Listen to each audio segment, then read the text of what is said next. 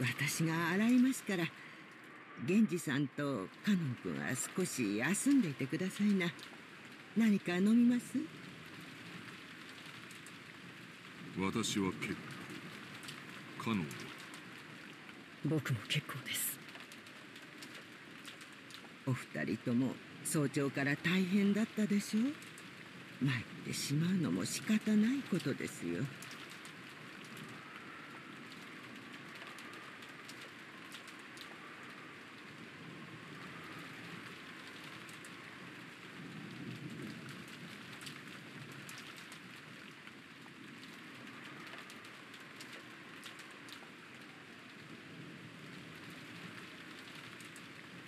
シャノンどうしてあんなひどい死に方を死に方のことは忘れなさいただ運がなかっただけだそうですね。ただ運がなかっただけです。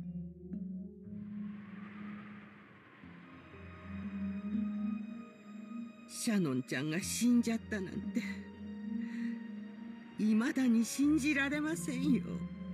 本当にかわいそうに。もう会えないなんて嘘みたいですよ。もう一度子の笑顔が見たかったのに。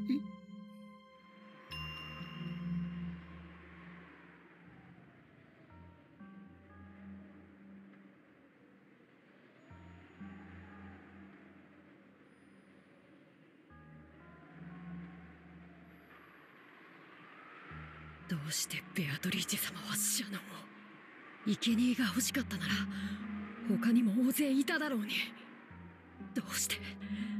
どうして？ただ運が悪かっただけだ。少しの運がたがえばシャノンの代わりにあそこに横たわっていたのは私だったのかもしれないしお前だったのかもしれない。あるいは他の誰かだったのかもしれない。全ては運命だ。源氏様奥様の部屋の扉に血のような跡がついていたとおっしゃっていましたね。シャッターに書かれていたのと同じもので。うん。気味の悪い跡だった。まるで血のついた指でドアノブを引き抜こうとするかのような部屋。扉をかき破ろうとしたのか。そんな気味の悪い跡だった。ベアトリーチェ様が奥様の部屋を訪れてそして扉を開こうとしたけれど開けなかった。ということでしょうか。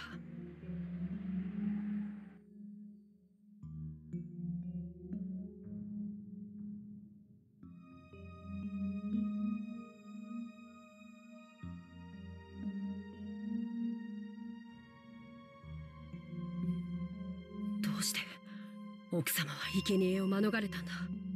もし奥様が選ばれてたならシャノンはシャノンは死ななくて済んだのに。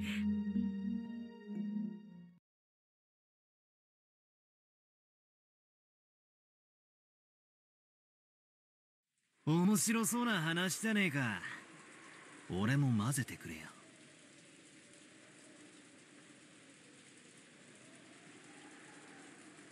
バトル様。これは失礼いたしました。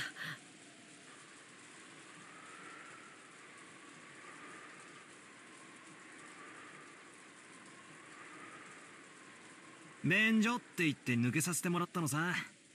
ずっとあの部屋に閉じ込められてると窒息しちまいそうだったからな。水でも飲ませてもらおうかと思ったら面白そうな話が聞こえてきたんでよ。頭なんか下げなくていいぜ。今の話の続きを聞かせてくれよ。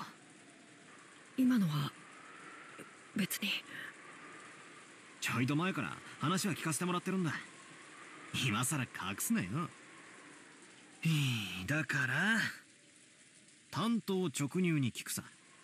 ベアトリーチェってのは何者だ。どうやらおとぎ話の魔女ってだけじゃなさそうだな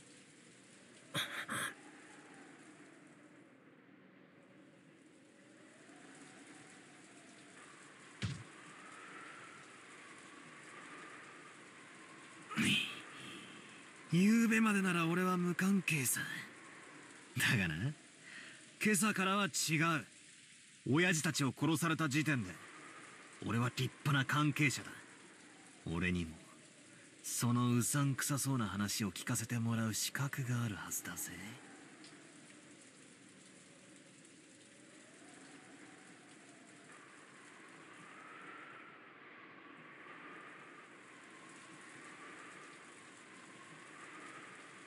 バトラさん手を離してやってくださいな。別にカノンさんは隠しているわけではないのです。じゃあ話してくれたっていいじゃねえか。仲間外れたら寂しいぜ。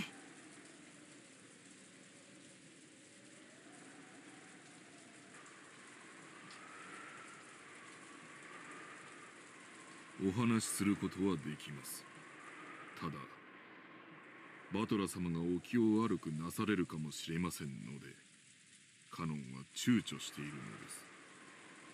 躊躇なんて男らしくねえぜ。内緒にされる方が気持ち悪いさ。聞かせてくれよ。どうせ明日までできることはないんだ。多少はうさんくさい話の方が退屈も紛れるってもんだぜ。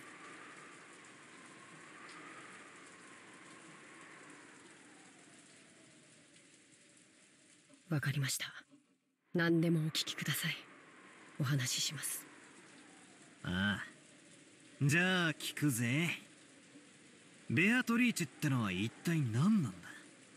俺が知ってる限りでは露見島の森に住まう魔女ってことになってる。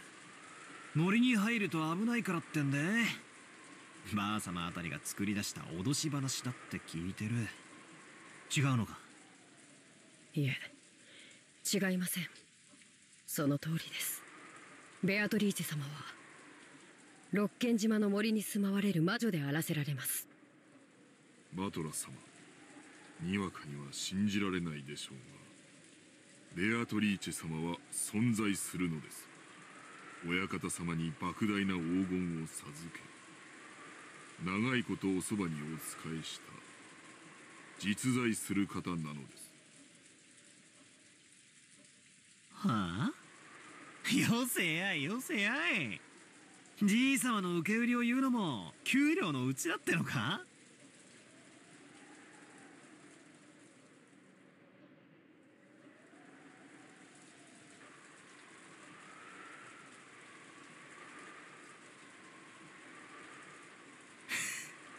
なるほど。源氏さんが断るだけはあるぜ。こいつは確かに正気じゃ気を悪くする。つまりベアトリーチェっていう名の人物は実在するんだな。はい。親方様がこの島にお屋敷を構える以前からずっとお仕えしている方でございます。おそらく私よりも長くお仕えしているでしょなんてこった桐江さんの仮説は外れたな。じい様に。ベアトリーチェという名の腹心は実在したってわけだ。そいつは今この島にいるんだな。はい。いらっしゃっていると思います。曖昧な言い方だな。ってことは昨日今日そいつの顔を見たってわけじゃなさそうだな。はい。大変申し上げがたいのですがそのなんだよそこで切るなよ。鮮度目みたいで気持ち悪いぜ。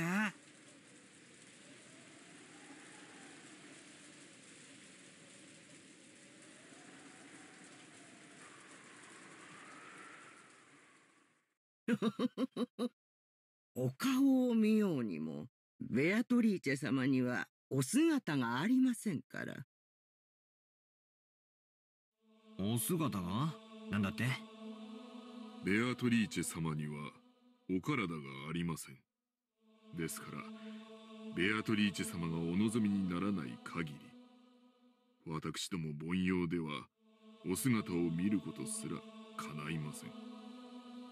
ベアトリーチェ様が人の姿をされていた頃の絵があの肖像画のものなのだとか。そのお姿を懐かしみよく肖像画の前に佇まれているそうな。ベアトリーチェ様は時折輝く蝶の姿に身を変えられて現れることがあります。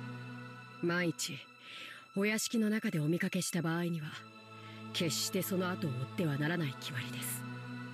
追えば不幸があると囁かれています。その金を破り大怪我をして辞めた使用人も実際にいます。おいおいマジかよ。あんたら本気でそんな話をしているのかよ。バトラス様すでにベアトリーチェ様がお越しになっておられます。そのようなお言葉はよろしくないかと思われます。ベアトリーチェ様はご自身を冒涜される方を好みませんその存在を疑えば必ずや不幸が降りかかるでしょう。バトラさん気持ちの悪いお話とお思いでしょ？ですがねベアトリーチェ様はいるんですよ。います。それを疑われることを。ベアトリーチェ様はことのほか嫌われます。わかりませんかバトル様。ベアトリーチェ様は今すでにここにお越しになっております。おいおいよせよ俺そういうのは弱いんだぜ。脅しっこなしにしろい。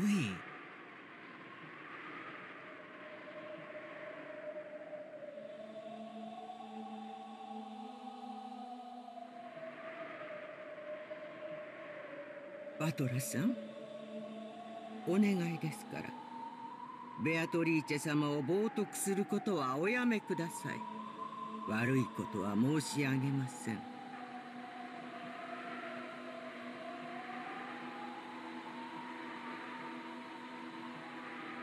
いいやいるって言われてもよ。俺には何も見えないぜ。今俺の隣にいるとでも言うのかよ。冗談よせやい。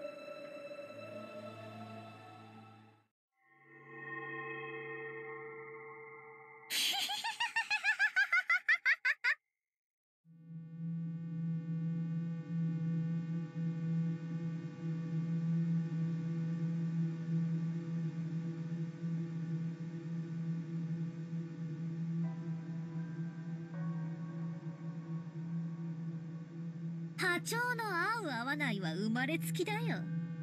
バトラは生まれつき波長が合わないタイプなんだよ。だから見えない。会えない。話せない。ベアトリーチェの一番嫌いなタイプだよ。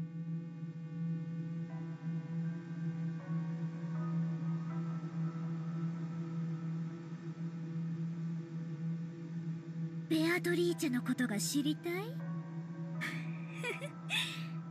ベアトリーチェはね千年の魔女なんだよ。あらゆる悪魔を刺激し錬金術を極め賢者の石を生み出し莫大な黄金を生み出すことができる。おじい様は彼女と契約することで後宮家に莫大な富を築いたんだよ。昨日私がベアトリーチェの手紙を読んだでしょ？あれは本当なんだよ。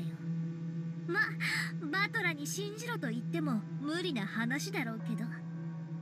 六感が生まれつきさっぱりみたいだからね。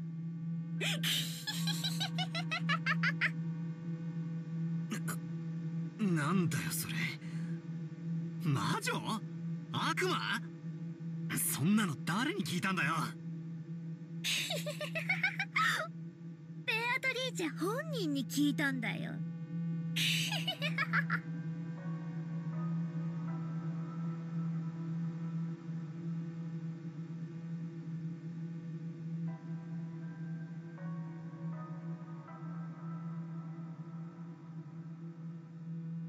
マリア聞くだけ野暮だろうがもう一回聞くぜ。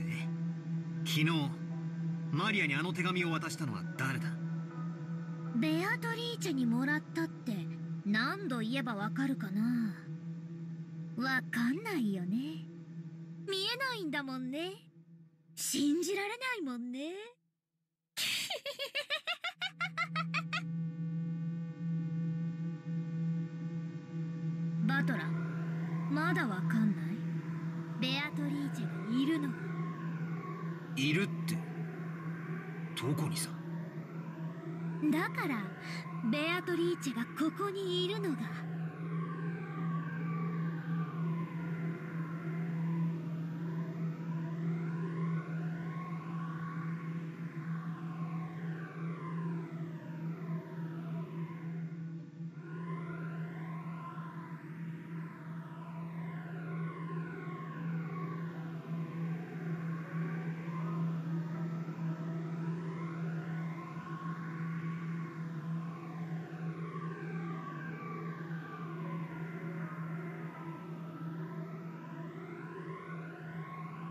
ベアトリーチェは千年を生きた偉大な黄金の魔女。でも波長の合う人間にしか自分の姿を見せられないし話しかけられない。だからね。それがとても悲しいんだよ。だからバトラみたいな生まれつき魔法のセンスもかけらのない人に存在を否定されるのがものすごく嫌いなんだよバトラは幸運だよ昨日私にお守りをもらっていてよかったね。それを身につけていなかったら今頃ベアトリーチェのどんな呪いが身に及んでいたか分かったものじゃない。本当に幸運なんだよバトラは。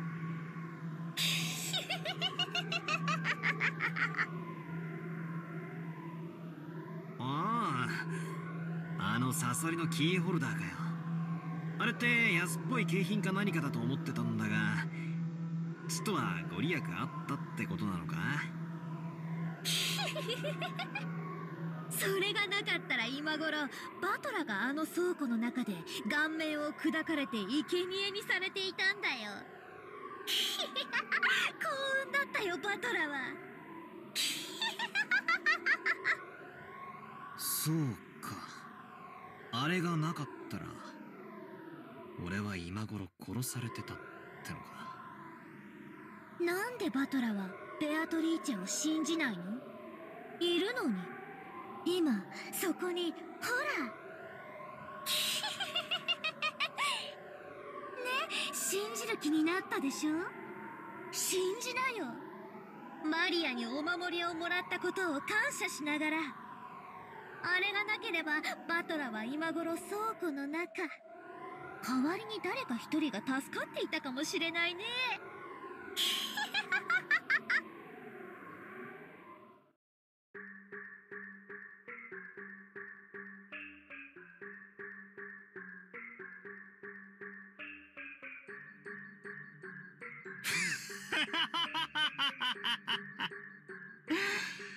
じゃあ全然ダメだぜマリア。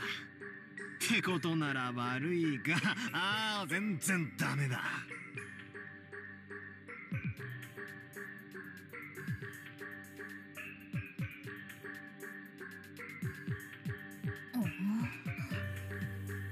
前が傷つくだろうと思ったから俺黙ってたけどよ。お前にもらったお守りよ俺ポケットに入れたつもりだったんだけどよ。どっかに落っことしちまったんだぜ。だから俺が今この瞬間に無事なのはお守りのおかげでもねえし。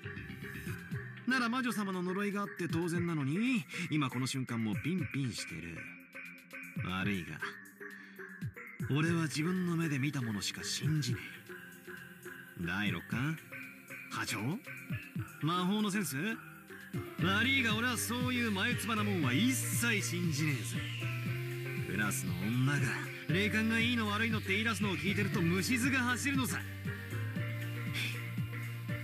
あんたらがいくらじい様に給料もらってるか知らねえが俺を妙な宗教に勧誘しようったって。そう簡単にはいかねえってことはよく肝に銘じておきやがるってんだ。バトラ様。カノン君たちが信じるのは自由だぜ。だが俺が信じるかどうかは常に俺が自分で決める。悪いがこの目で見るまでベアトリーチェなんてうさんくさいものの存在を信じるわけにはいかないぜ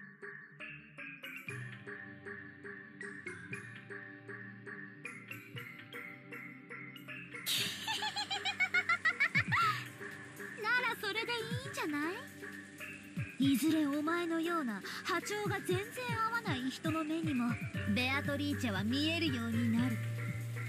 もうじきよみがえるんだよ。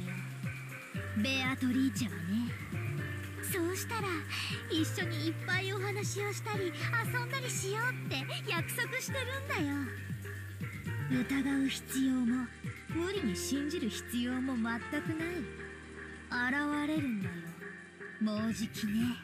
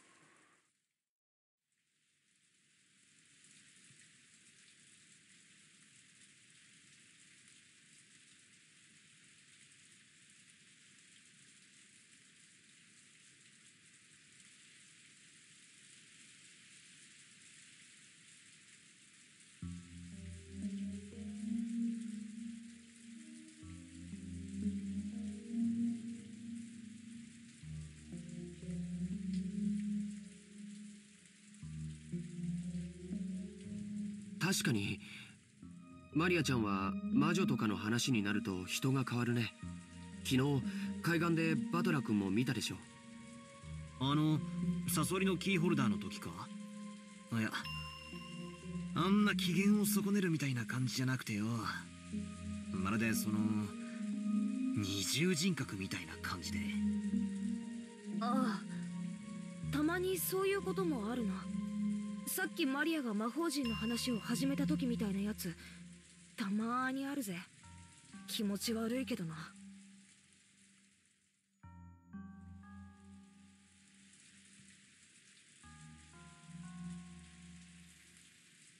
あれってのは何なんだ？マリアは二重人格か何かなのか？それとも本当に霊感が強かったりとかしてそういうのに憑依されたりとかしちまうのかよ？ん。そういうのじゃないと思うよ。バトラ君にも経験ない？小さい頃自分以外の誰かになりたかったなんてこと。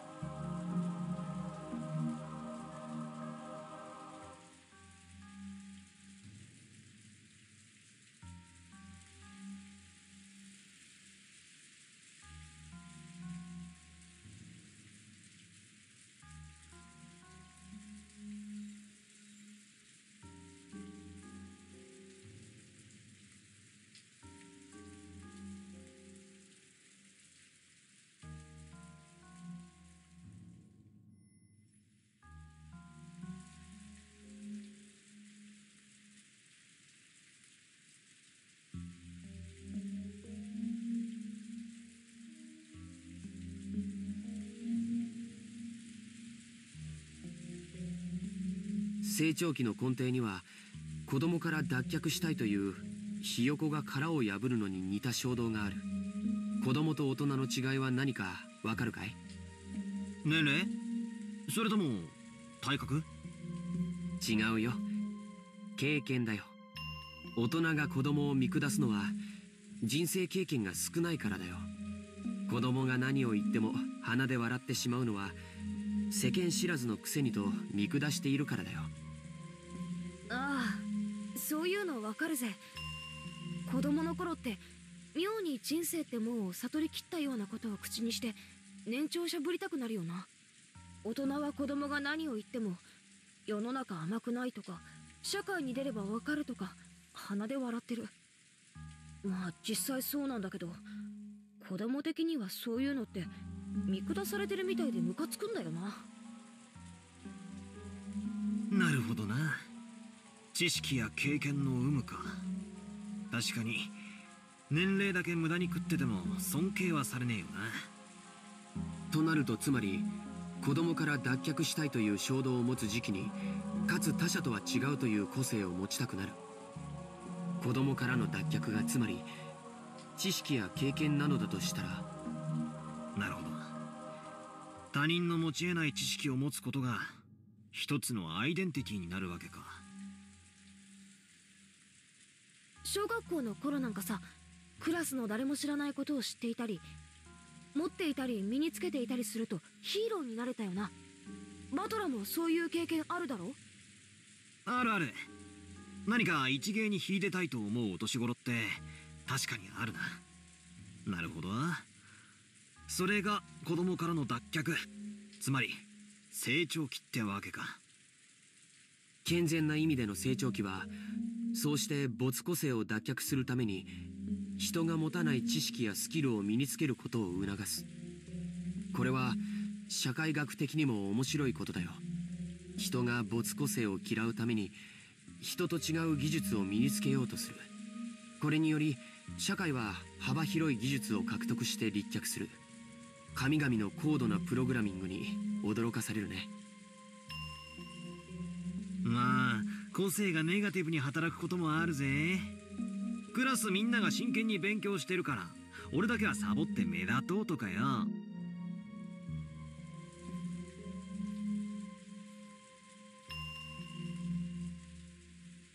でもまあ誰も飛べない飛び箱を飛んでやりたいとか成績のいい連中を周回遅れにさせてやるぜってマラソンで全力疾走とかそういう気持ちはあったな。勉強はダメだったから。少なくとも運動では見返してやるぜって根性はあった。うんなるほど。ちゃんと成長期してるな俺。男子ってやっぱり肉体的な方面に関心が向くよな。でもよ同じ時期に女子は精神的な面に向きやすいんだよ。バトラーのクラスの女子にも占いとか霊感とかそんなこと言ってる女子連中のグループがあったりしただろ。ああああったあった。人の星座とか血液型とか聞いてきてああやっぱり X クス。とか笑われると大いにムカついたもんだぜ。どこのクラスに行っても女子は占いが好きだし決まって霊感に強いだの弱いだの感受性がどうこう見えないものが見えちまうだのそういう手合いが必ずいたもんだぜ。占いも霊感も学校では教えないものだからね。男の子と違い内向的な世界に関心を持ちやすい女の子にとってそれはアイデンティティを確立しやすくてかつ興味深いジャンルなんだよ。男子が成長期に入ると急に悪ぶったりして大人に反抗を始めるのと全く同じに女子も成長期に入るとそういうのに興味が出るようになるんだよ。私はそうでもなかったけどさ。うん。つまりマリアがオカルトに関心を持つのは年頃の女の子としてはそう珍しくもないってことか。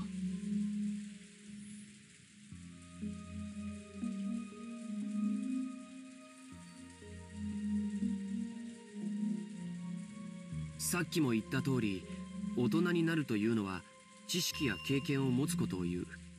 だからそれを得るために子供たちはいろいろなことを学んで子供を脱却しなければならないんだけど子供の世界に今も昔もはびこっているある便利な妄想があるんだよ。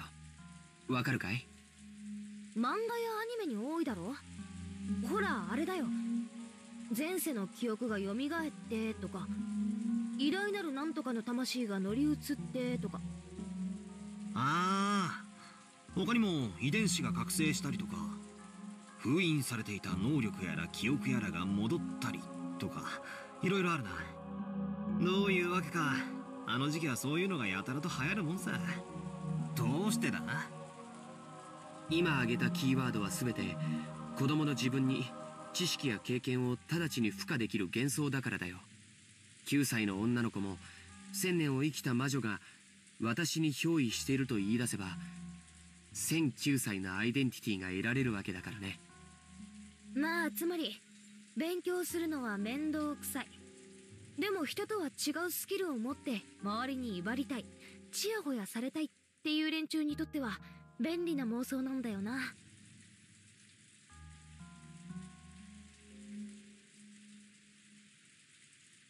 あとは子供からの脱却願望には必ず自分の理想像の自己投影が行われその願望の姿が別人格として形成されることが少なくない。バトラ君だって家と学校では多少キャラクターが違うということがあるんじゃないかな。多分家での自分の姿をクラスの友人たちに見せるのは恥ずかしいはずだよ。学校の自分は自分のなりたい姿の投影で家の自分は本来の姿だから。つまりキャラクターの使い分けというか人格の多重化はごくごく当たり前だと言いたいわけか。オカルトが好きな女子はそれを憑依と言ったり覚醒と言ったりするぜ。正直ドン引きするくらいにキャラを変える子もいるよ。男子にもいるだろ？切れたとか言ってやたらめったら粗暴キャラに変身するやつが。あれ本人はかっこいいと思ってるんだろうけど見てて痛いよな。つまりおさらいするとだ。マリアくらいの年頃の女の子がさっきみたいな不気味な二重人格のようなものを見せてもそれほど珍しいものじゃないと言いたいのか？簡単にまとめるとそういうことだね。アイデンティティは自己を形成するための大切なもの。それをバカにしたりするとかえってその殻に閉じこもってしまうこともある。だからほどほどに付き合ってあげるのが大切なんだよ。それを丸ごと受け入れてあげるのが親の包容力というものなんだけどね。兄貴それで独身って信じられねえぜ。もう子供が中学くらいに上がってそうな貫禄さ。じゃあローザおばさんもあのマリアの二重人格についてはよく知っていたのかな？知ってたぜここだけの話。ローザおばさんはすっごく嫌がってた。気持ち悪いしクラスでますます孤立を深めるだけだって。だからマリアがオカルトの話を始めたり魔女みたいな声で笑い出したりすると必ずビンタしてたぜ。だからマリアもローザおばさんがいる時にはそういう話をしないようになったみたいだけど。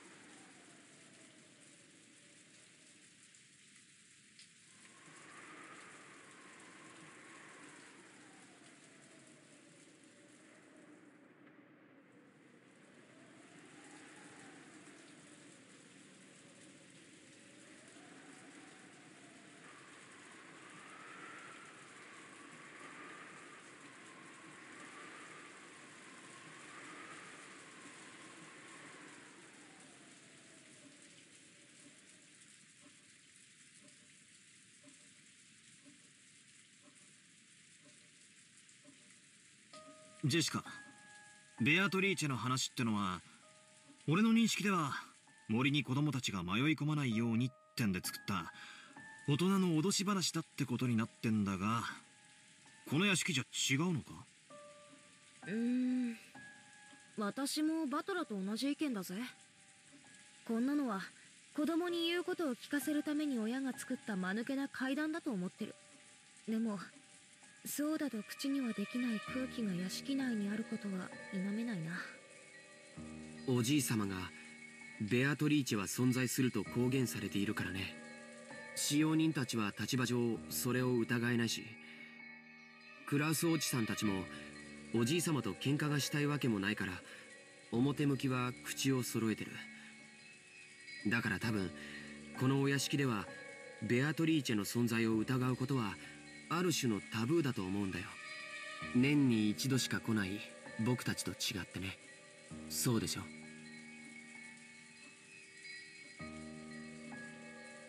ジョージ兄さんの言う通りだぜ。みんな腹の中じゃ信じてるわけじゃない。でも表向きはその存在を認めてる。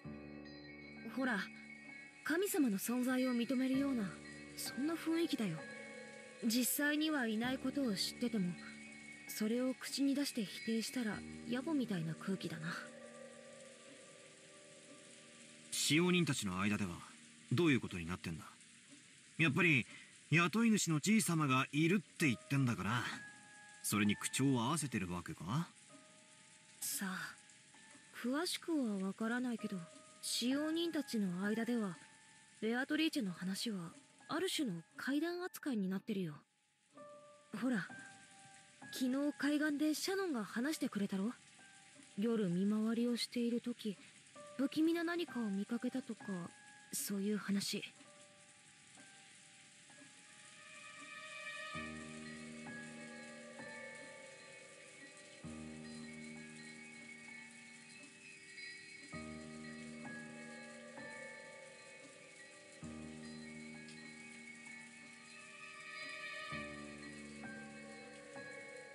他にも鬼火や輝く蝶々が舞っているのを見たという使用人もカノン君もそれらしいものを以前夜の見回りの時に見たことがあると言ってました。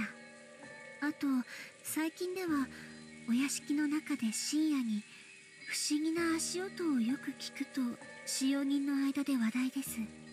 私たちは肖像画の中のベアトリーチェ様が姿を消してお屋敷の中を散歩しているんだろうと囁き合ってるんですよ。ずいぶん前ですが私もそうかもしれない足音を夜の見回りの時に聞いたことがあります。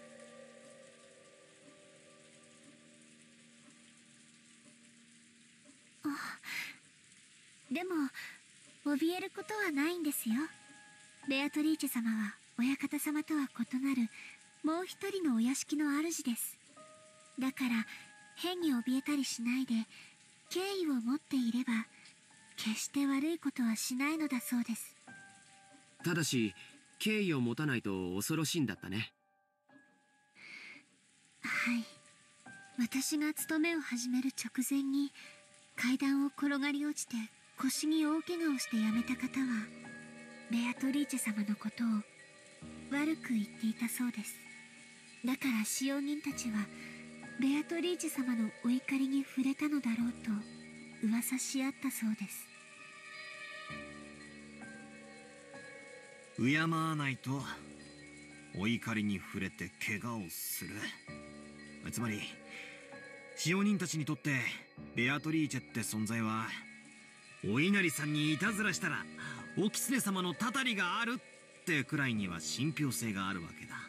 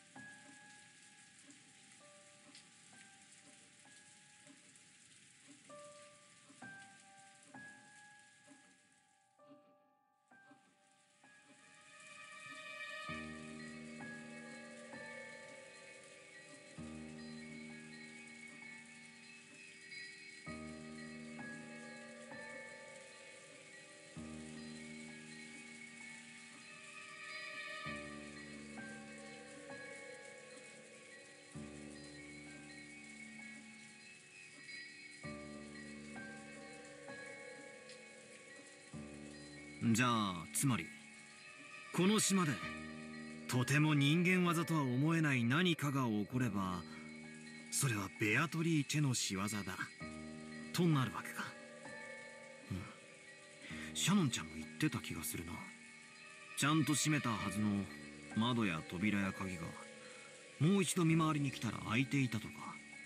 消したはずの明かりがついていたりつけたはずの明かりが消えていたり。とかで確かジェシカは朝出かけようとしたらカバンが見つからないのもベアトリーチェの仕業だってふざけてたんだよなよく覚えてるな。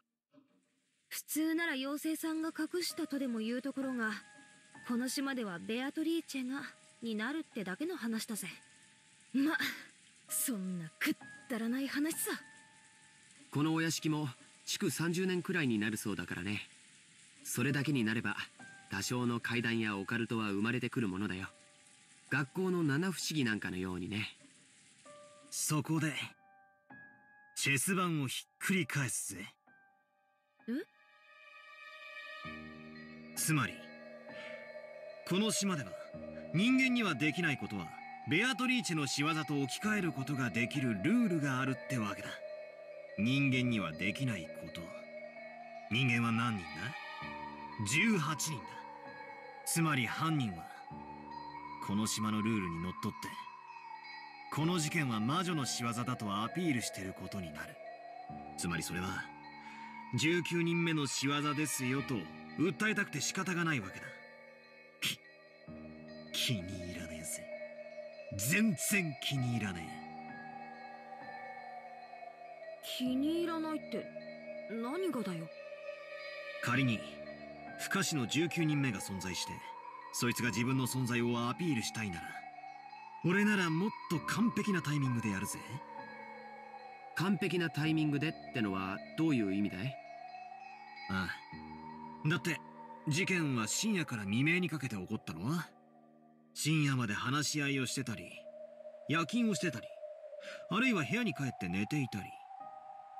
どいつもこいつもアリバイがあやふやで十分内部犯行が疑える段階だ。ジョージの兄貴もエヴァおばさんに聞かされてるんだろ？内部犯行の可能性が高いって話。うん。まあね。つまり不可視の19人目が実在したなら最初の事件は自分のアピールに失敗してるんだ。あいやそもそも時間帯がミステイクだ不可視の19人目をアピールするためには死んだ6人以外の12人が全員白であることが確定している状況下で行われなければならない。疑わしい人間がゼロにならなきゃ自分の存在をアピールできないんだよ。だから全員のアリバイが一番あやふやになる深夜の時間帯は19人目にとって自分が一番あやふやになる時間帯でもあるにもかかわらずその時間を選んで犯行に及んだ。そんな時間に犯行を起こせば18人の誰かが疑われるのは明白。にもかかわらずマリアに手紙を渡して魔女を名乗り誰もが自分でないと否定している。つまりベアトリーチェという19人目がいるように見せかけたい人間が18人の中にいるとこう言いたいのかよ。なんだかぶっ飛んだ発想だな。まだおふくろの屋敷の外に不審者が潜んでいるって話の方が信憑性があるってもんだぜ。まさかバトラはこの客間の中に犯人がいると疑っているのかよ。ああ何者かが俺たちにベアトリーチェが存在すると認めさせようとしている。そうさ。昨べのあの手紙からもう事件は始まっていたんだ。証拠も根拠も何もねえけどな。チェス盤を逆さにした限りじゃ俺の見立てはこんなところだ。飛びまくってるにも程があるぜ。妙な推理小説の読みすぎじゃねえのかよ。でも無視できない着眼点もあるね。19人目がいるかいないかは別にしてもその犯人は確実にこの島のルールにのっとって何かを仕掛けてきている。僕はね今バトラ君の話を聞いていて少しだけ気持ち悪いことを思い出してたんだよ。気持ち悪いことって？うん。覚えてるかい？ベアトリーチェの手紙。ベアトリーチェは利子の回収を行うと言っていたね。そして利子とは後ろ宮家の全てだと言った。言ってたぜ。確かに言ってた。そして利子の回収をこれから行うが黄金の謎を解いたらその権利を失うとも言ってたよな。おじい様は黄金を授かり後ろ宮家を再興した。つまり黄金を資本に生み出したもの全てが利子だってベアトリーチェは言っているつまり？冗談きついぜ兄貴。まさか後ろ宮家の全て。つまりじい様が生み出したもの全てってことはじい様から血を分けた一族のことを指すってのかよ。あの手紙をそう読み解いたならこの殺人はベアトリーチェが行った正当な利子の回収ということになる。となればこの事件はまだ続くよ。利子の回収はまだ途中なんだからね。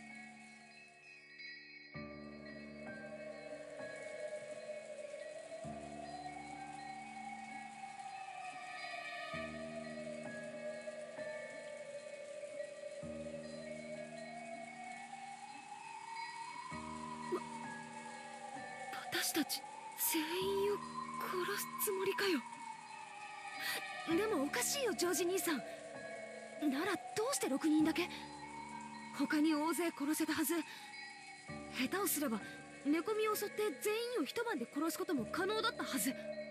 どうしてそれをしなかったの？特別条項だよ。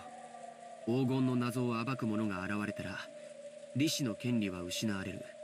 そして手紙の最後にはこう結ばれていたはずだよ。おじい様の黄金の謎をみんなで解いてみろとね。ジーザス！ようやく犯人のメッセージが分かってきたじゃねえか。つまり犯人は俺たちにじい様のあの碑文の謎を解いてみやがると言ってるわけだ。しかもぼやぼやしてればどんどん利子の回収を進めちまうつもりだ。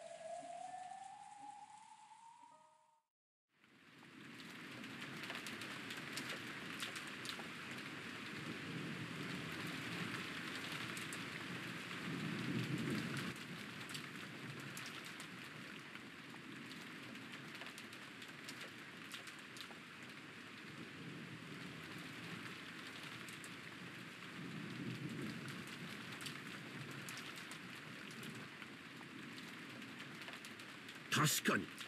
そう考えるとあの怪しい手紙も納得がいくっていうもんや。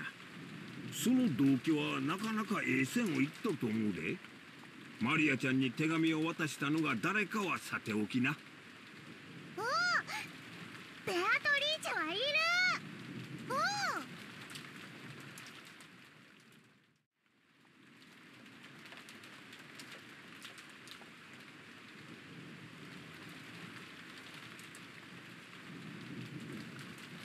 隠し黄金ど存在しません。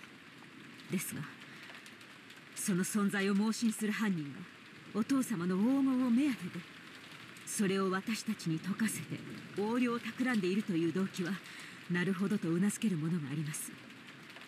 しかしならばなぜ後宮家の主要な人物ばかりを最初に殺したのです？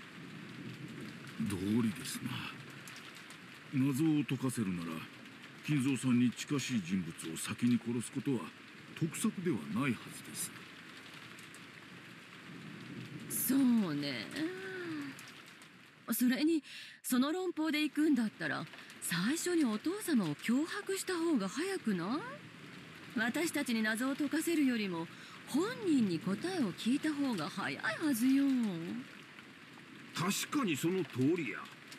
もっともお父さんが並大抵の脅迫で口を割るとは思えんが。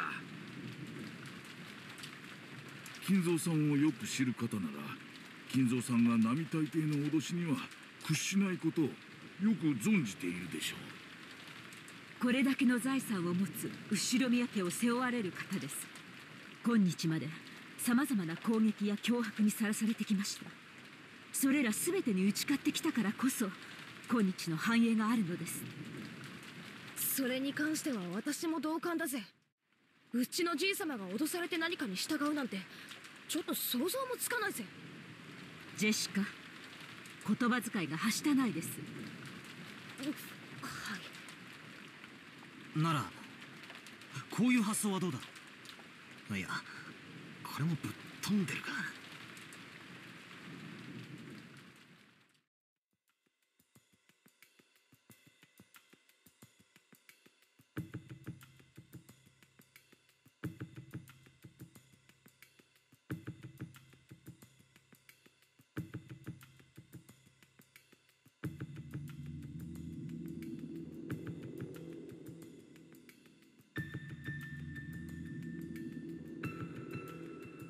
人が隠された黄金が狙いってんな。ら俺たちに解かせるのは効率が悪い。謎を作った本人に答えを聞く方が手っ取り早いさ。じゃあさこれはつまり全てじい様に当てたメッセージってことじゃないのか。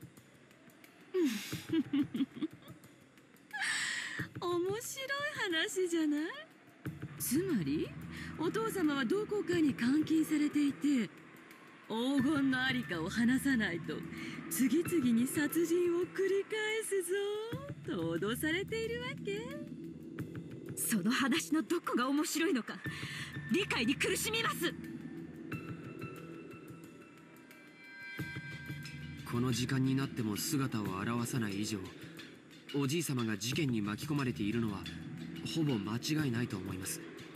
それを思えばバトラ君の仮説も無視することはできないんじゃないですか。ジョージは黙ってなさい。そもそもお父様っていついなくなったのかしら？最後にお父さんの姿を見たのは誰や？多分私でしょう今朝主人たちの姿が見えないと騒ぎになった時お父様の書斎にいるかもしれないという話になり私がお部屋にお伺いしてそこでご挨拶をしました。そういえば書斎の鍵をずっと借りっぱなしですね。源氏これは返しておきます。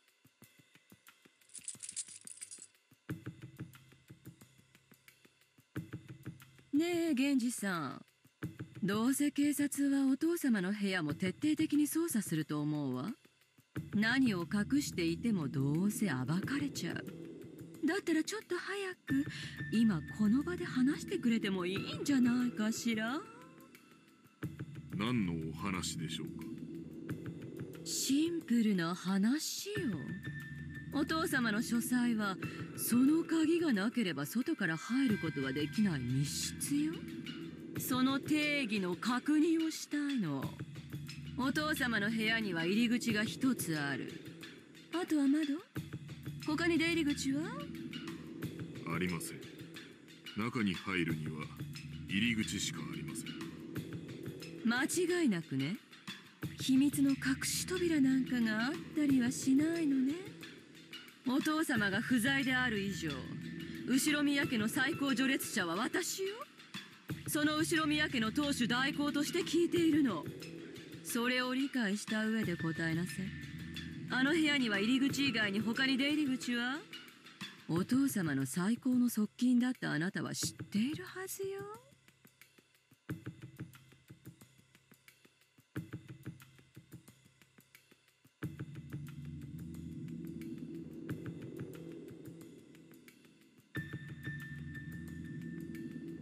ン君も熊沢さんも知ってるなら教えてくれな。いあるならあるって言ってくれた方がいいの。じゃないと今からある人がとても追い詰められることになるわよ。隠し扉があると仮定されたら私の話は全て水の泡。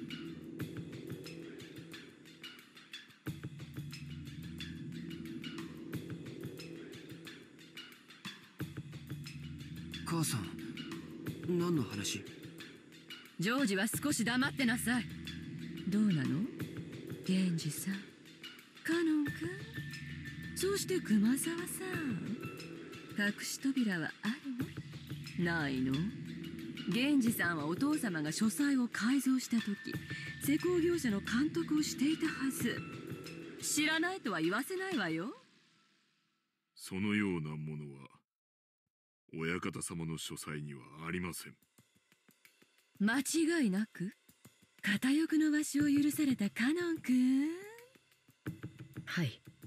間違いなく親方様の書斎に隠し扉などありません。熊沢さんは？いえ私も聞いたことがありませんよお父様と親交の深い南條先生は？わ私もそんなものは聞いたことがありませんな結構。じゃあいい？話を始めるわよ。とってもシンプルな話なの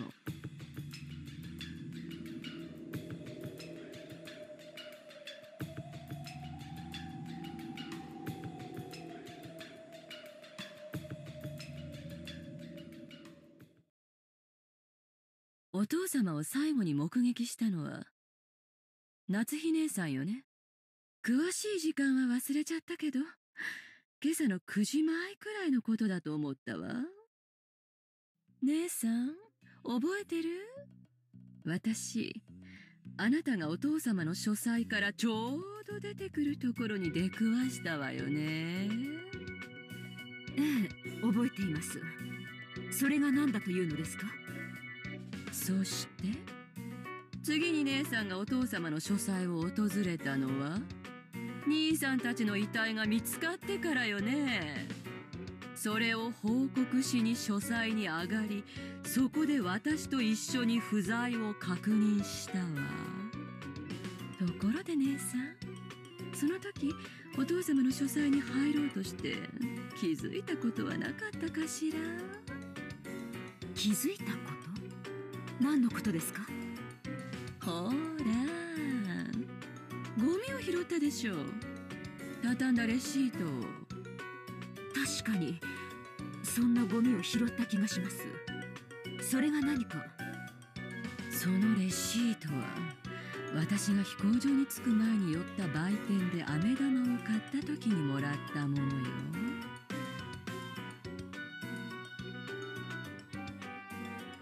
あああの時に買った飴のレシート。でも母さんそのレシートの話が何と関係あるの？ジョージもうちょい黙って聞いとってや。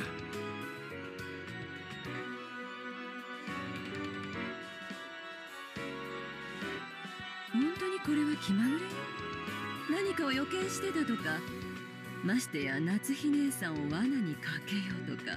そんなのじゃ断じてないんだから実はねそのレシート姉さんがお父様と最後に会って出てきてそこで私と会ったでしょ？その時書斎の扉に私が挟み込んだものなのよ。ってことはどういうことですか？つまり夏日おばさんがそのレシートを拾うまで誰もドアを開けていない。ちょちょっと待ってよエヴァおばさんレシート挟むなんてバレバレだって。小さなが外出した時に気づいて面白がってもう一回挟み直した可能性も。も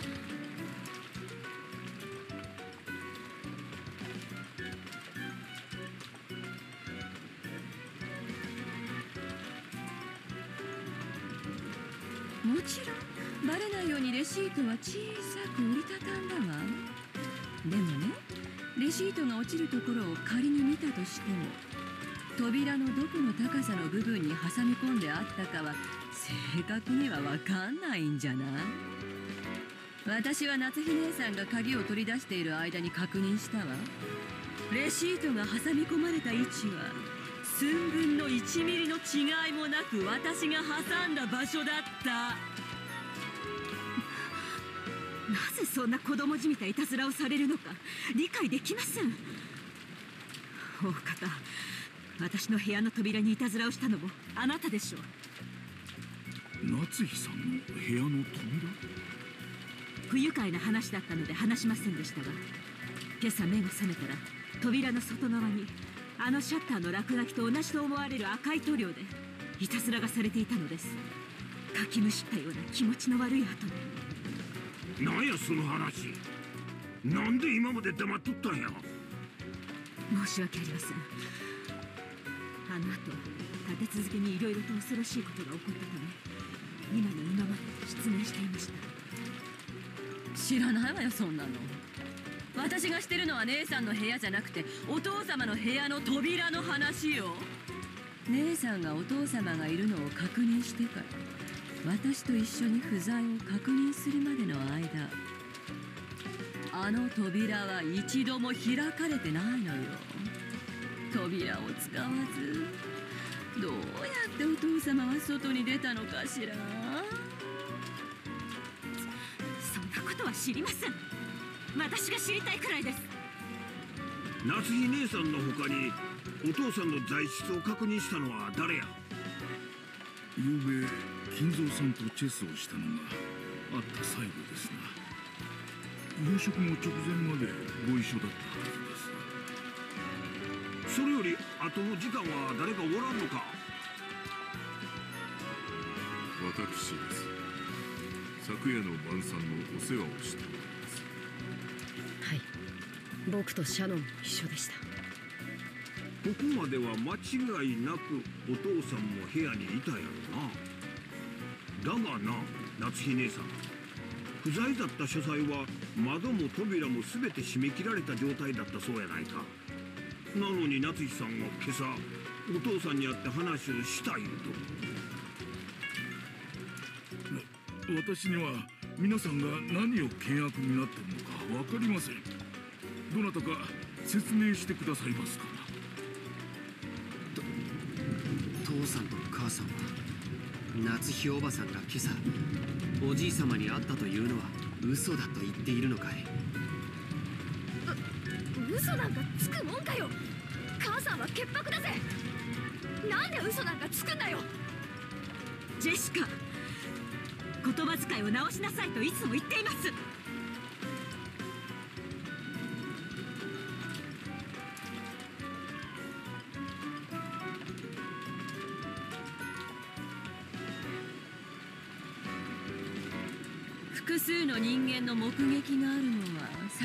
でよ。でも今朝以降お父様の姿を見たと称するのは夏日姉さんただ一人。そして私の挟んだレシートが物語る奇妙な事実。さあこの点と点はどうやれば結べるのかしら？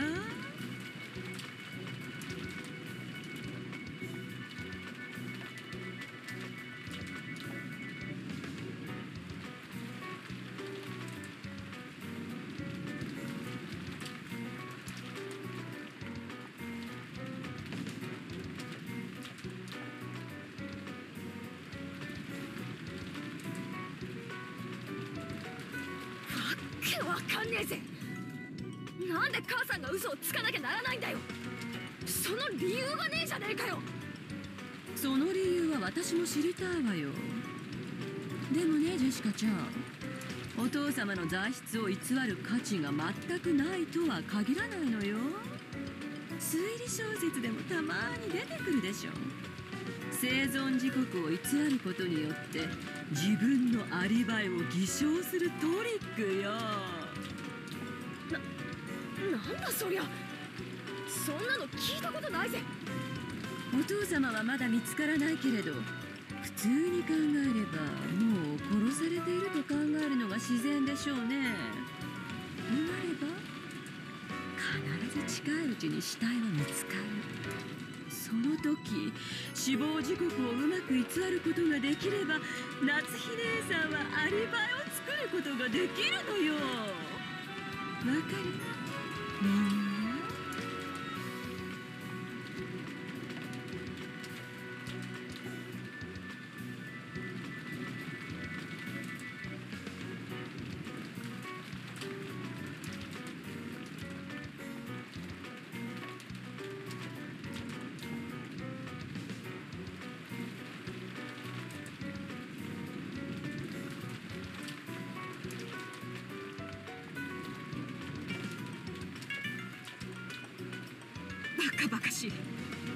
推理小説など所詮は娯楽小説。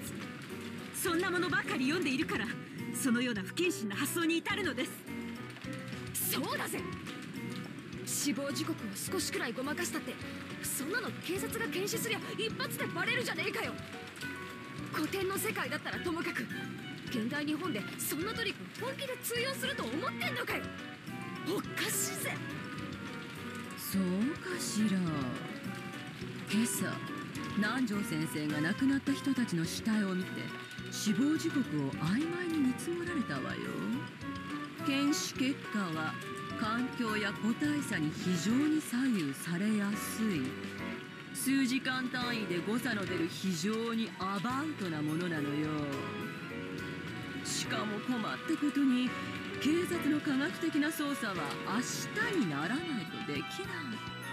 そこまでの正確な死亡時刻を測ることなんてジェシカちゃんの言う現代日本でもそうそう簡単なことじゃないのよ。ねえ南條先生。検視は経験と勘の必要な非常に難しい作業です。誤審率も非常に高いと聞いております。確かにほんの数時間程度の誤差を出してしまうことは大いにあり得るでしょうなしかしアリバイの世界は数時間もあれば十分やで。古典のトリックとちゃう。十分に通用するトリックなんや。夏日姉さん。わしらあんたを疑いたいわけやないやで。疑いとうないから潔白を示してほしいだけなんや。何の潔白を示せというのですか。今朝私は。確かにお父様にお会いしました。そして心の中に片翼のわしを刻めとお言葉をいただいてあのお言葉を否定するというのですか。それだけは断じて許せません。お父様がかけられた言葉までも否定することは断じて許せません。あるいはお父様の遺体は出てこないのかしら。普通失踪は死亡宣告に7年かかるもの。余命残りわずかなお父様を7年も延命しその財産を独占するにはなんともうまいやり方じゃない。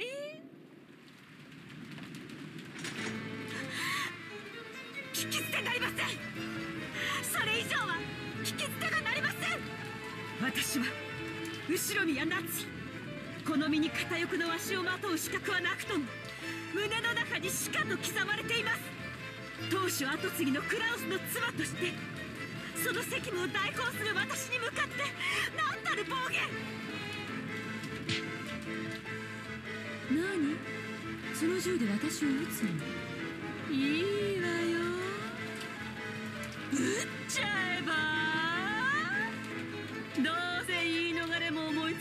苦し紛れなんでしょう？やりなさいよ。暴力で真実をごまかしてごらんなさいよ。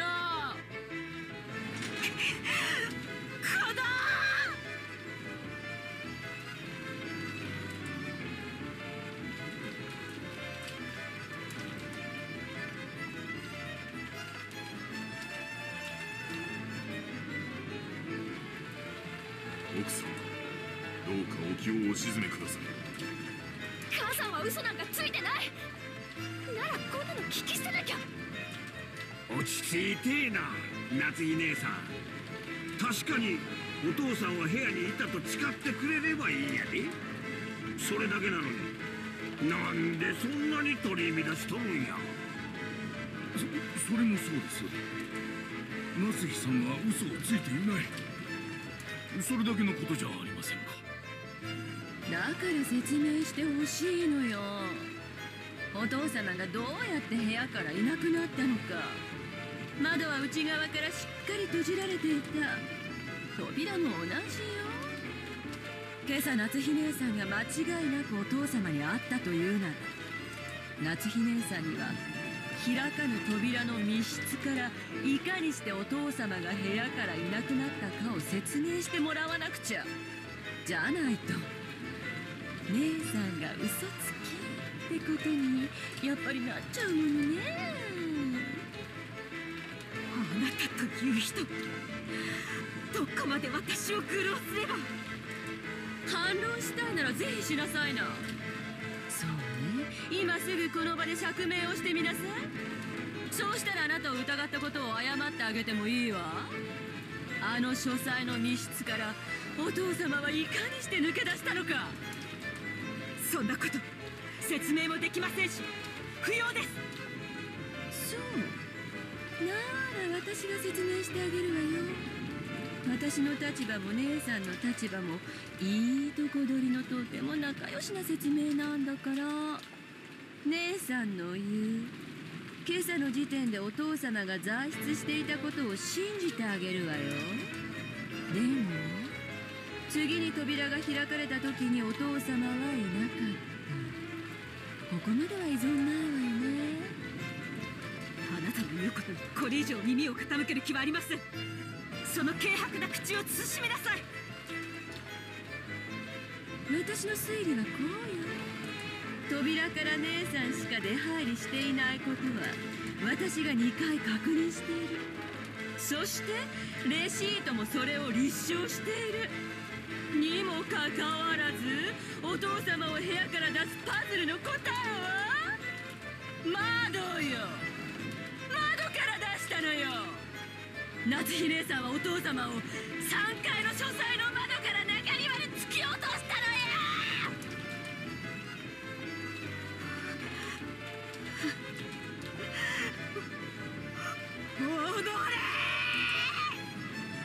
奥様こらえてください。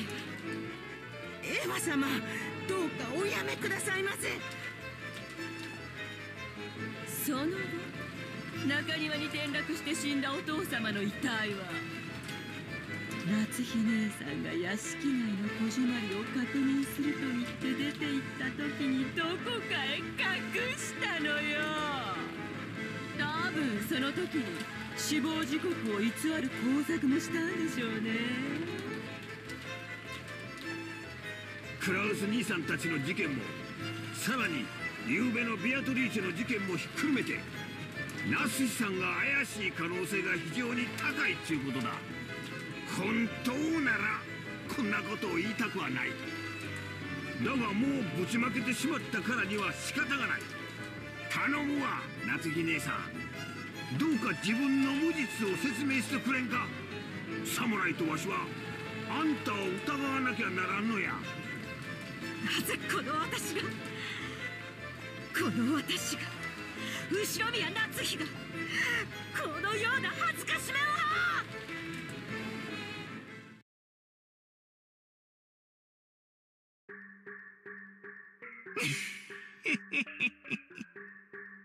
ダメだな。全然ダメだぜ。エヴァおばさん。ダメって何がだよバトラ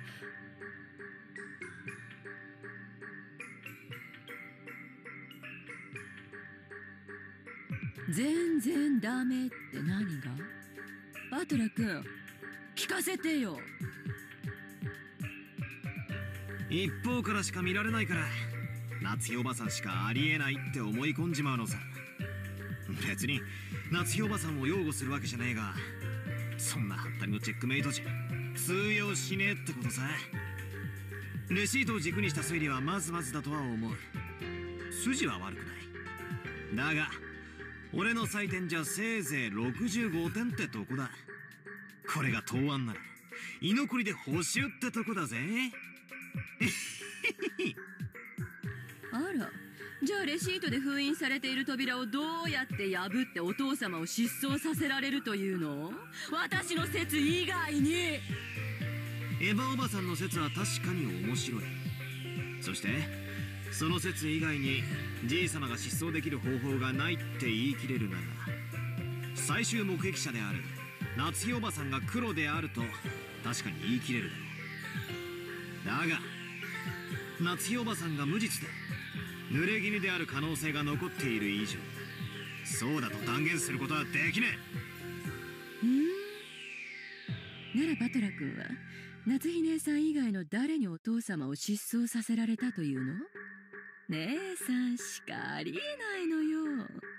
私のレシートがそれを証明してしまったわ。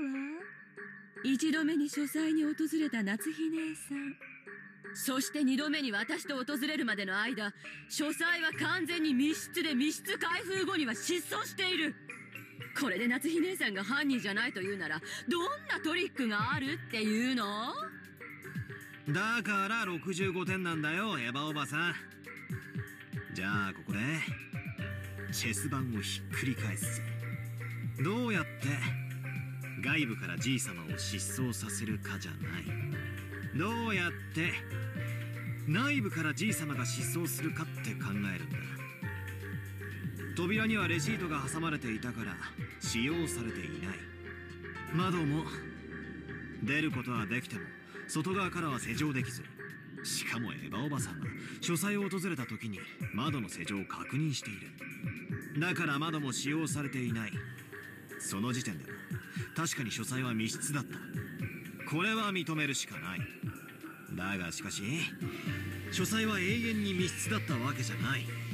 レシートの封印さえ解かれれば扉は使用可能になり脱出可能になる。つまり夏日おばさんがどうやってじい様を失踪させたかじゃない。どうやってじい様は書斎を脱出したのかって考えるんだよ。じい様の書斎はただの書斎じゃねえんだよな。源氏さんの話じゃトイレからキッチンベッドルームまであるちょいとした家並みじゃねえか。例えばベッドの下にでも潜って隠れたらおばさんたちは部屋からいなくなったと思い込めるぜ。エヴァおばさんもそこまで調べてきたわけじゃねえだろ。そしておばさんたちは失踪したと思い開花へ戻る。この時レシートはもうない。つまりじい様は密室である間は部屋に隠れ続けエヴァおばさんたちをやり過ごした後に部屋から脱出することでこの密室を破ることができる。それ。どうしてお父様がそんな妙なことをして部屋を抜け出さなきゃならないの？口頭無形にも程があるわよ。ああ口頭無形かもな。だがそれでも夏日おばさんが濡れ衣かもしれない可能性は示してる。エヴァおばさんのレシートは完璧じゃねえ。チェスで言えばチェックくらいにはなったろだがチェックメイトじゃねえ。そして俺が最高に気に入らねえのはそれを夏日おばさんに釈明しろと迫ってそれができなきゃ黒だって断定しようとしたエヴァおばさんのその論法さそれがまかり通るってんだな。この後ろ宮バトラここでもう一回チェス盤をひっくり返させてもらおうじゃねえか。エヴァおばさんあんたの論法によるならよ。あんたと秀吉おじさんが昨日親父たち6人を殺害してからのこのことゲストハウスに帰ったんじゃないってことをこの場で釈明してもらわなくちゃならねえぜ。夏日おばさんに釈明を強いたんだあんたにはもちろん自身の潔白を釈明できるんだろうな。じい様の遺産が全部転がり込むエヴァおばさんよ。そうだぜ。エヴァおばさんだって十分怪しいじゃねえかよ。母さんがじい様の最終目撃者だから怪しいって言うならエヴァおばさんだって父さんたちの最終目撃者じゃないか。バトラの言う通りだぜ。自分たちは殺してないってことを証明してみせろよ。僕もお母さんの推理は少し勇み足だと思うな。レシートの件は確かに重要なヒントだと思う。でもそれはバトラ君の言う通り夏日おばさんが何がしかの犯人であることを断定できるものじゃない。僕たちは等しく全員が容疑者なんだ。夏日おばさんだけが責められる道理はない。誇り高きお父様が床に這いつくばってベッドの下に？そんなざれ言で説明がつくと思って？それならエヴァおばさんが先に説明しろよ。6人を誰がどうやって殺してそして自分が関わっていないという証拠を示してみろってんだ。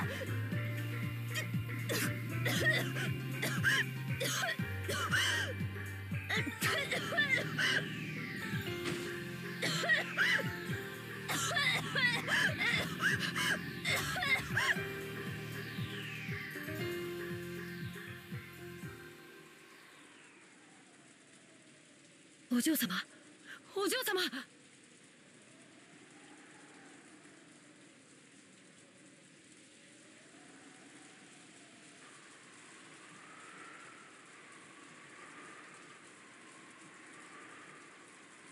ジェシカしっかり。なんじゃ先生。ジェシカさん吸入器を早く。ええ私が持ってきているのがあります。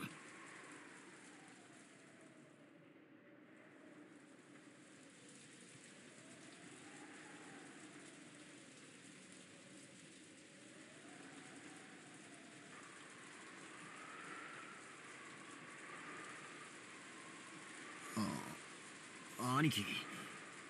ジェシカってこんなに喘息ひどかったっけ？ここ数年でだいぶ悪くなったんだよ。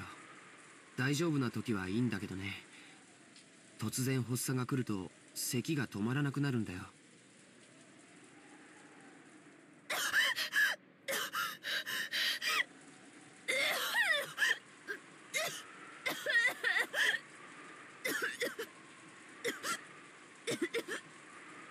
嬢様。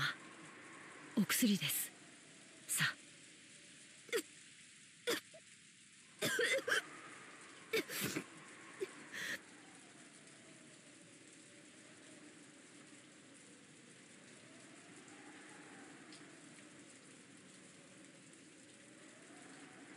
大丈夫かよジェシカ。びっくりしたぜ。大したことねえよ心配すんじゃねえさ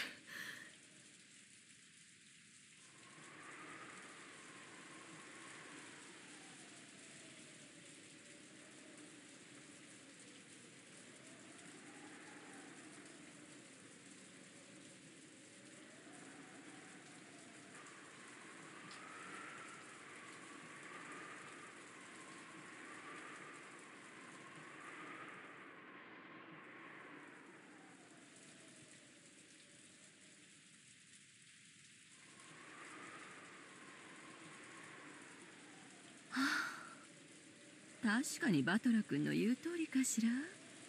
夏日姉さんが疑わしいように。私たちも疑わしさを拭えていない。それを今議論し合うのは確かに不毛ね。明日警察に全てを任せれば済むだけの話よ。でもバトラ君だって知りたいんじゃないの？犯人を。大切な人を失った痛みを思い知らせてやるために1秒でも早く知りたいんじゃない？それは否定しないです。これだけの上等を決めてくれやがった野郎。をたとえ一日であったとしてものさばらしたくはない。でもだからといって18人の中の誰かを疑いたくはない。さっきはああ言ったが俺はエヴァおばさんだって疑いたくない。俺にとってのエヴァおばさんはちゃめっ気があっていつも楽しくさせてくれる最高のおばさんだ。そんなおばさんとこんな罵り合いはしたくねえ。ここにいる誰だってそんなことは望んでねえはずさ。だろみんな。バトラ君に同じ意味のない罵り合いだね。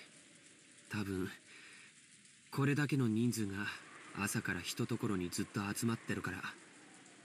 みんなストレスが溜まってるんだよ。でしょうな。無理もないことです。言ってできるものではありませんがなるべく皆さんリラックスしましょう。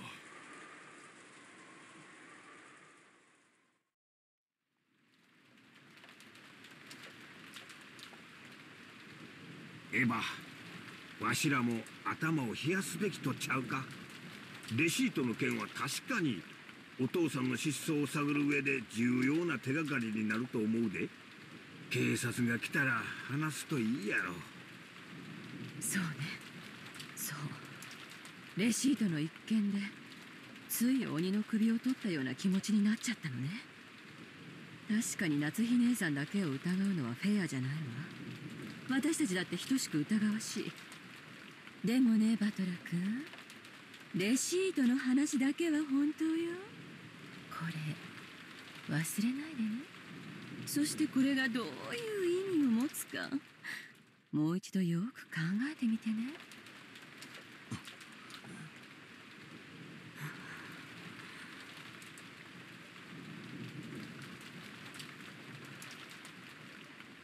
結局私たちはこんな推理ごっこしても意味はないのよ。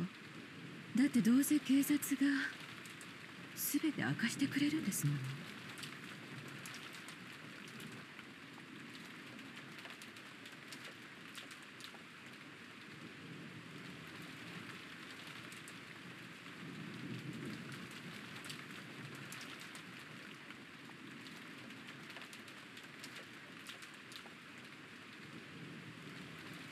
これ以上夏日姉さんも私の顔を見ていたくはないでしょう。私も同じよ。確か姉さんは昨日ゲストハウスに帰らなくて済むようにって客室を用意してくれたのよね。あそこはバスもトイレもあるし鍵もチェーンもかかる。横になれるベッドもあるし主人もマリアちゃんとチャンネル争いをせずにテレビを見ることができるわ。お好きになさるといいでしょう。でもくれぐれも用心を。ありがとう姉さん。そして余計なお世話よ。姉さんはみんなの監視をよろしくね。犯人はこの中に必ずいるんだから。そして姉さんも自分が監視をされていることをお忘れなく。捨て台詞はそれで十分ですか？ええ十分よ。じゃあね夏日姉さん。源氏さん夕食になったら呼んでね。それまでチェーンをかけて閉じこもってるわ。源氏カノお二人を客室までお送りを。結構よ。送り狼なんて嫌だもの。むしろ私たちが部屋に行くまで誰もこの部屋を出ないでくれる方が安心よ。ジョージ行くわよ。僕はここでみんなといるよ。ジョージこの部屋に犯人がいるのよ。そんなところにいるつもり？ここの部屋を出るということは親族の誰かを疑うのと同じことだよ。僕はあんな恐ろしいことができる人間が親族にいるなんて信じない。ジョージあなたからも言ってやってよ。ジョージももう一人前の男や。そのジョージの仁義がこの部屋から出えへん言わせるならそれも勝手やろ好きにさせたれ。父さん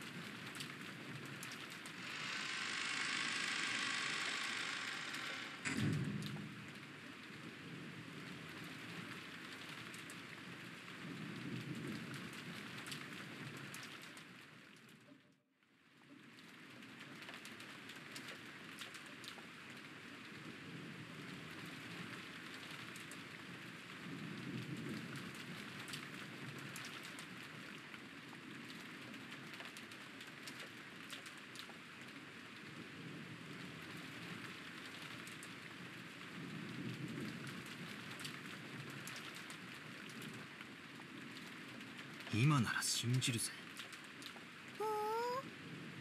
手紙も殺人も全て。ベアトリーチェの仕業だ。いやむしろ頼むからそうだと名乗り出てほしいぜ。19人目の仕業ってことにさせてくれ。じゃなきゃ俺たち18人はいつまでも互いを疑い合わなくちゃならねえ。これなら19人目の存在を信じる方がマシさ、扉も窓も開けずにじい様を外へ連れ出すなんて。ベアトリーチェならお茶の子さいさいなんだろう。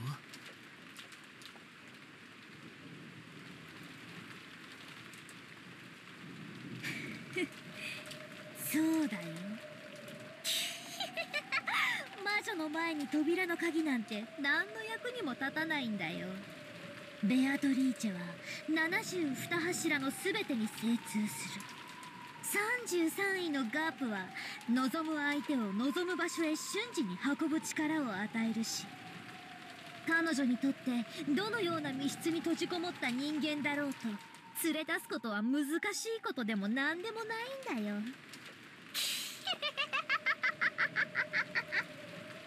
魔女はすげえな。頼むから。もしまだ事件を起こす気なら絶対に人間には無理なことをして。俺に19人目いや。魔女の存在を信じさせてくれよ。いいよ。あったら伝えておくよ。